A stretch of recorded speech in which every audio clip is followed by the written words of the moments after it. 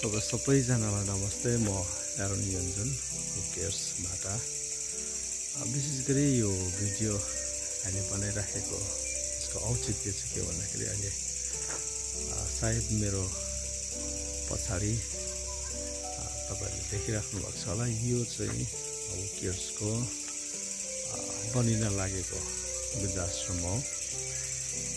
हामीले धेरै वर्षदेखिको सपना लिएर अगाडि बढिराखेका थियौँ।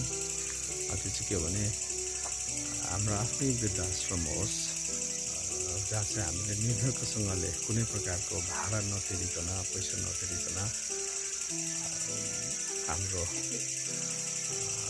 ओल्ड एज सिनियर सिटिजन्सहरू जसलाई एकदमै खाँचो छ उनीहरूलाई राख्ने सोच। अनि त्यसकै फलस्वरूप भनौँ आज यो घर बनिने क्रममा छ। लगभग आठ दस महिनादेखि बनाउने बिचमा धेरै प्रकारको अडचनहरू बाधाहरू आइपऱ्यो तैपनि रोकिँदै भए पनि बनिराखेको छ। अहिले चाहिँ यो स्ल्याब लगाउने अ, लाई अ, तयारी हुँदैछ यो सटरिङहरू लगाउने। तपाईँलाई विशेष गरी धन्यवाद दिन चाहन्छु कि जो जतिले अहिलेसम्म हाम्रो यो वृद्धाश्रम बनिनुमा आफूले आफ्नो तर्फबाट सहयोग गर्नुभएको छ। म तपाईँहरूलाई सबै सबैजनालाई धन्यवाद दिन चाहन्छु गेस्टको तर्फबाट। तपाईँको सहयोगको कारणले गर्दाखेरि चाहिँ यो वृद्धाश्रम बनिने क्रममा छ भनौँ न।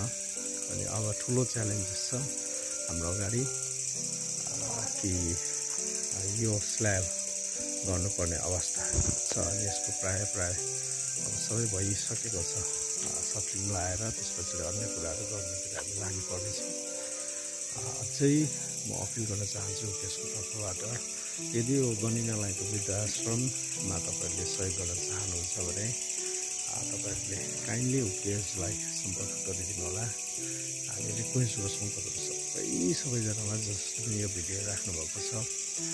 हाम्रो यो आश्रम छिटोभन्दा छिटो बनियोस् भन्ने चाहना हाम्रो अनि यो बनिनमा तपाईँहरूको सहयोग एकदमै इम्पोर्टेन्ट हाम्रो लागि हुन्छ किनभने हामी आफै गेस्ट आफैले चाहिँ बनाउन सक्दैनौँ अ, यदि तपाईँहरूको सहयोग भएन तपाईँहरूबाट हामीले सपोर्ट पाएमा अ, कुनै पनि प्रकारको सपोर्ट पाएमा पक्कै पनि छिटोभन्दा छिटो हामीले यसलाई बनाएर यो आश्रमलाई सञ्चालनमा ल्याउन सक्छौँ भन्ने हामीलाई विश्वास छ। तपाईँहरूले जस्तो प्रकारले पनि सहयोग गर्न सक्नुहुन्छ लाइक फाइनेन्सियली सपोर्ट गर्न सक्नुहुन्छ अथवा कुनै पनि मेटेरियल्सहरू दिएर हुन्छ नि इँटा बलुवा गिटी जे पनि रड सिमेन्ट कुनै पनि कुरो यदि तपाईँलाई तपाईँको कम्फोर्ट भित्र पर्छ भने तपाईँहरूले सहयोग गर्न सक्नुहुन्छ। हामी रिक्वेस्ट गर्छौँ तपाईँहरूलाई काइन्डली तपाईँहरूले हामीलाई सहयोग गरिदिनु हुन। हामी हाम्रो सम्पूर्ण टिमको तर्फबाट चाहिँ तपाईँहरूलाई अपिल गर्न चाहन्छु। अहिले म चाहिँ ढिलो आइपुगेँ म बाहिर थिएँ। एकैछिन कारणले गर्दाखेरि अँध्यारोमै भए पनि एउटा भिडियो चाहिँ तपाईँलाई बनाइराखेको छु। थ्याङ्क यू भेरी मच नमस्ते।